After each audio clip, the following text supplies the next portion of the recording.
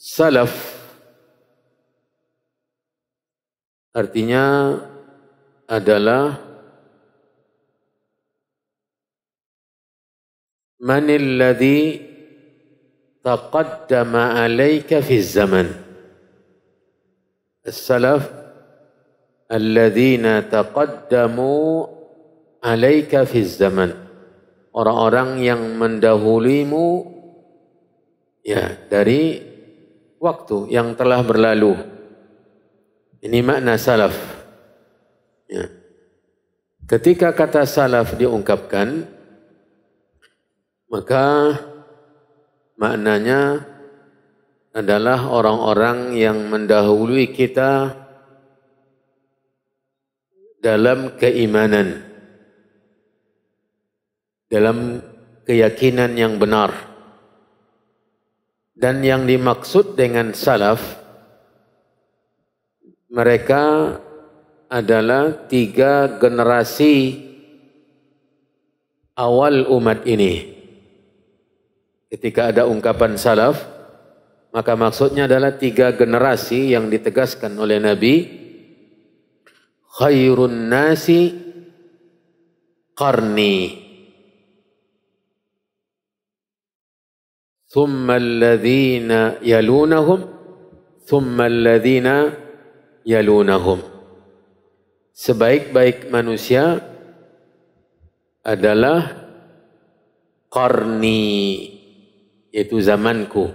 Al-qarnu al-asru az-zaman ya abadku atau masaku. Maksudnya manusia yang hidup di zaman nabi beriman tentunya maksudnya adalah siapa? Para sahabat. Itu yang pertama. Generasi pertama mereka para sahabat nabi saw yang mana definisi sahabat apa definisi sahabat? As-sahabiyyu huwa man laqiya an-nabiy sallallahu alaihi wasallam mu'minan wa mata alaihi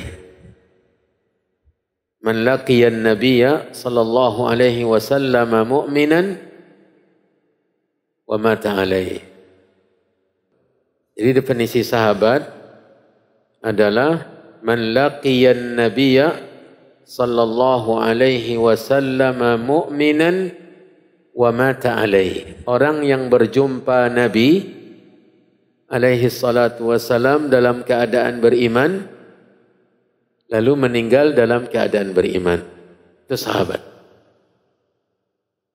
Mereka berjumpa Nabi beriman dan mereka belajar akidah dari Nabi, ibadah dari Nabi, akhlak dari Nabi, muamalah dari Nabi, semua yang berhubungan dengan tuntunan hidup mereka ambil dari Nabi.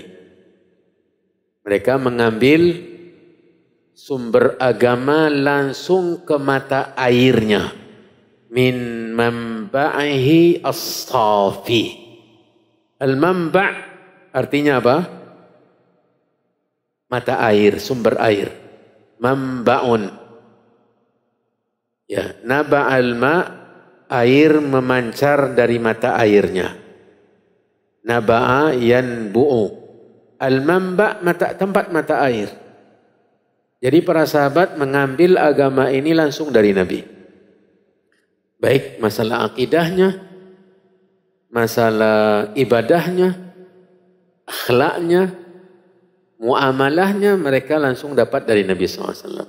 Dan itu pilihan Allah. Jadi Allah memilih mereka li suhbati nabiyhi alaihi salatu wassalam. Allah pilih mereka untuk menjadi sahabat nabinya menjalani agama ini, menjalankan agama ini bersama para sahabatnya. Kemudian yang yang kedua adalah generasi tabi'in yaitu murid-murid para sahabat. Tabi'in itu pengikut. Maksudnya adalah man laqiya sahabah atau man laqiya sahabiyan mu'mina. Wa mata alaihi atau ya man laqiya sahabiyya mu'minan wa mata alaihi seseorang yang berjumpa sahabat dalam keadaan beriman dan meninggal dalam keadaan beriman. Itu tak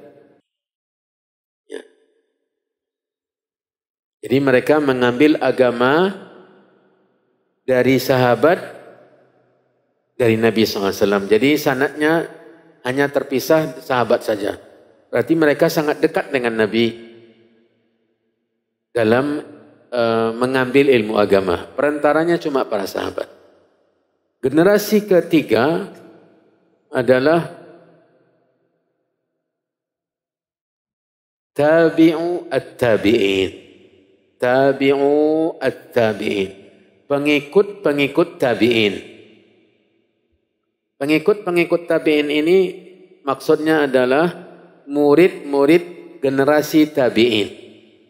Jadi mereka belajar agama dari guru-guru yang mana guru-guru mereka ini adalah murid para sahabat Nabi. Ya, yaitu tabi'in. Inilah tiga generasi yang dikenal dengan Al-Qurunul Mufaddalah generasi-generasi yang diutamakan, yang mulia. Bila ada kata salaf, maka maksudnya siapa? Bila ada ungkapan kata salaf, yang secara bahasa adalah orang-orang yang mendahului kita. Dari ayah kita, kakek kita, kakek berikutnya dan berikutnya. Dari nenek moyang kita. Itu secara bahasa.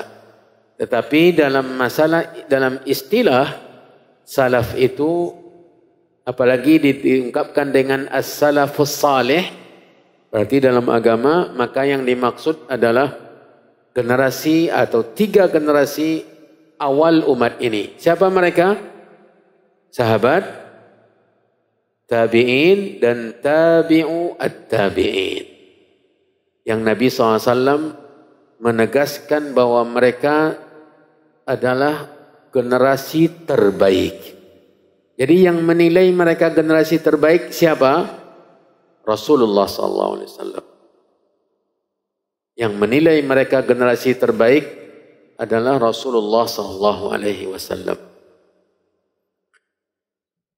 Uh, dalam hadis yang tadi kita bacakan khairun nasi qarni sebaik-baik manusia adalah mereka yang di zamanku yaitu para sahabat thummal ladzina yalunahum kemudian orang-orang setelah mereka yang datang setelah mereka yaitu tabi'in thummal ladzina yalunahum kemudian orang-orang yang datang setelah mereka maksudnya setelah tabi'in yaitu tabi atau tabi'u at-tabi'in